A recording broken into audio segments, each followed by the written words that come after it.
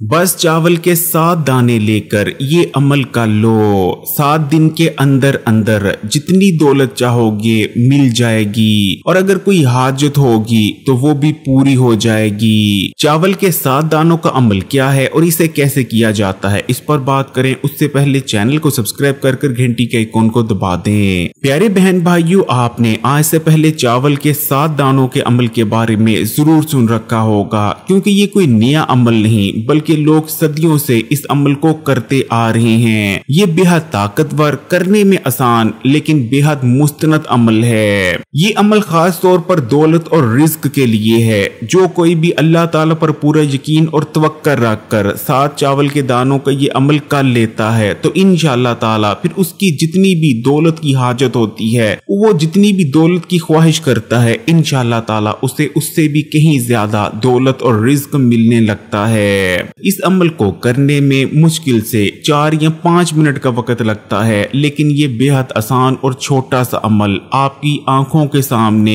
आपकी किस्मत और तकदीर को बदल कर रख देता है। प्यारे बहन भाइयों, ना तो इस अमल को करने में कोई पैसा लगता है और ना ही वक्त, लेकिन ये अमल है बेहद ताकतवर और इस अमल को करने के लिए महज आपको चावल के सात दानों की ज़रूरत पड़ती है। चावल के सात दाने तो तकरीबन हर घर में ही मौजूद होते हैं। चावल जिसे हम रोज़मर्रा खाने में पकाते हैं और खुराक के तौर पर इस्तेमाल करते हैं। चावल का शुमार भी गंदम की ही तरह अनाज में किया जाता है, जबकि बाकी खाने पीने की जितनी भी अशिया हैं, जैसे कि दालें, गोश्त, अंडे, बादाम, घी, ये तमाम अजनास में आते हैं। अल्लाह ताला ने अजनास के मुकाबले अनाज में बहुत ज़्यादा बरकत रखी है। यही वजह है कि जब तक हम खाने में चावल या रोटी ना खा लें, हमारी भूख नहीं मिटती। फिर चाहे हमारे सामने भुना छोटा गोश्त ही क्यों ना पड़ा हो? और ढेर सारा ही क्यों ना पड़ा हो? और हम जितना मर्ज़ी भुना छोटा गोश्त खा लें, बादाम, किशमिश, मेवे, जो कुछ मर्ज़ी खा लें, लेकिन उस वक्त तक हमारी भूख मुकम्मल तौर पर नहीं मिटती, जब तक हम चावल या रोटी ना खा लें।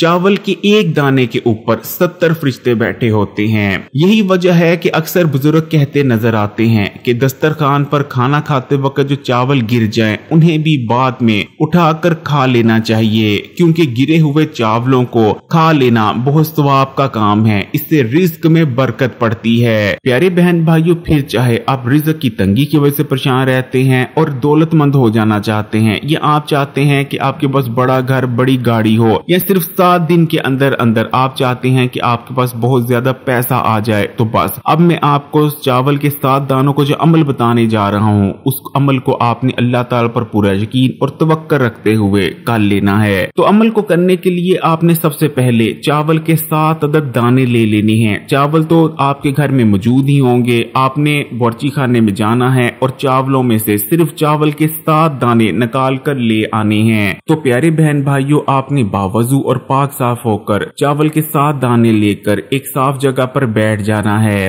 अब सबसे पहले आपने बिस्मिल्लाह पढ़नी है और उसके बाद एक बार द्रुद इब्राहिमी पढ़ लेना है। और उसके बाद आपने चावल का एक दाना उठाना है और उस पर आपने एक बार सूरह कोसर पढ़ लेनी है। सूरह कोसर जो कि कुरान पाक की सबसे छोटी लेकिन सबसे ताकतवर सूरा है। सूरह कोसर का दूसरा नाम रंजो गम दूर करने वाली सूरा भी है, क्योंकि इस सूरा ने, यानी सूरह कोसर ने हमारे नबी करीम सल्लल्लाहु अलैहि वसल्लम के रंजो गम को भी दूर किया था और जो कोई भी सूर्य कोसर को पढ़ता है, इस सूरा को थाम लेता है, उसकी ज़िंदगी के भी तमाम रंजो कम दूर हो जाते हैं। सूर्य कोसर की खास बात यह है कि ये सूरा अल्लाह ताला की जानब से हमारे नबी करीम सल्लल्लाहु अलैहि वसल्लम के लिए एक तोहफा थी। तो प्यारे बहन भाइयों, आपने चावल का एक दाना उठाना है और उस पर एक बार सूर्य कोसर पढ़ लेनी है। अब इस चावल के दाने को आपने साइड पर रख देना है। अब आपने दूसरा चावल का दाना उठाना है और उस पर भी एक बार सूर्य कोसर पढ़ लेनी है। इसी तरह आपने तीसरा चावल का दाना उठाना है और उस पर भी एक बार आपने सूर्य कोसर पढ़ लेनी है। इस तरह आपने चावल का एक एक दाना उठाते जाना है और उस पर एक एक बार सूर्य कोसर पढ़ते जाना है। जब आप चावल के सातों दानों पर एक एक बार सूर्य कोसर पढ़ लें, उसके बाद आपने दोबारा से चावल का एक दाना उठाना है और उस पर आपने एक बार पढ़ना है सुबह अल्लाह। जब आप चावल के दाने पर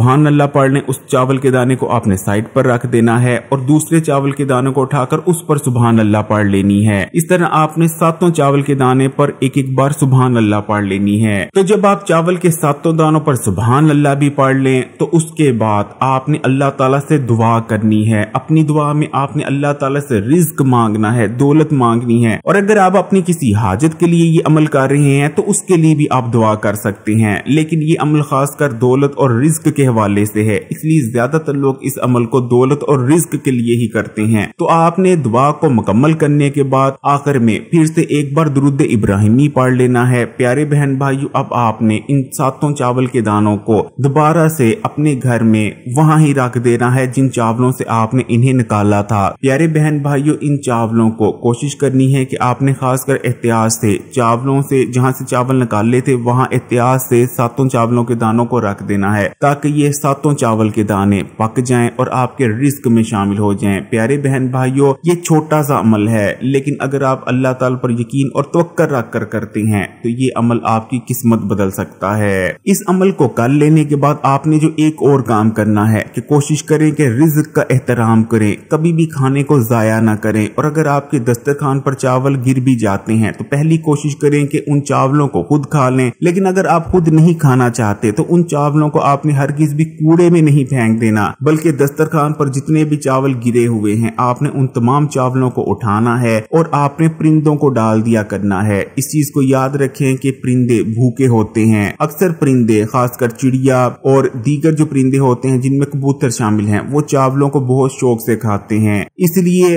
अगर आपके दस्तरखान पर भी बहुत ज़्यादा चावल गिरते हैं तो आप उन्हें हर बार इकट्ठा करा करें और परिंदों को डाल दिया करें। यूँ आप रिजक की बेअदबी से बच जाएँगे। और आपको स्वाब भी मिलेगा। अगर वीडियो अच्छी लगी तो कमेंट्स में माशाल्लाह सुबहान अल्लाह लिखिएगा। मजीद वीडियो के लिए इस्लामी बात यूट्यूब चैनल को सब्सक्राइब कर घंटी के आइकॉन को दबा दें। इन ताला अगली वीडियो में मुलाकात होती है। जजाकल्ला